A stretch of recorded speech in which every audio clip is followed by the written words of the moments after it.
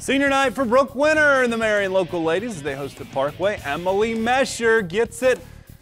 Number four who knocks down the corner jumper. Parkway trying to stay in it early. Sierra Fence, nice block here for the softball pitcher. And then Reagan Brandstetter turns it into offense. Parkway down four to three, but Winter takes over. Offensive rebound is an easy one for her. Then fast breaking flyers. They're flying down the court. Candace Jacobs Nice passing. Winter finishes. Marion Local finishes with a win 65 35.